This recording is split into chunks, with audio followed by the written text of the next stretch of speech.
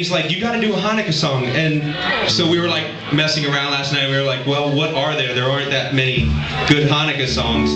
And I thought with like a 3,000 year head start, there might be like a couple better ones, but there aren't. You know, there's the um,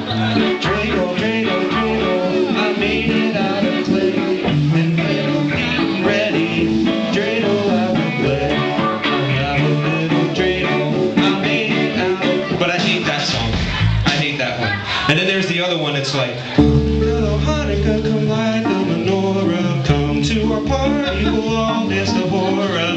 You ever hear that one? That was the reason.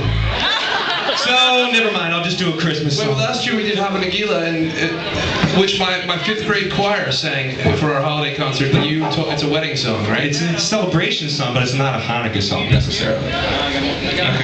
I'm just making sure that Flint Hill Elementary was politically correct. I don't know. It isn't. Just because it's in Hebrew doesn't make it a Hanukkah song. Okay.